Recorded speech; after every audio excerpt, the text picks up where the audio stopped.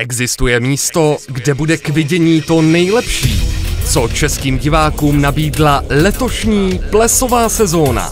To nejlepší z letošní plesové sezóny.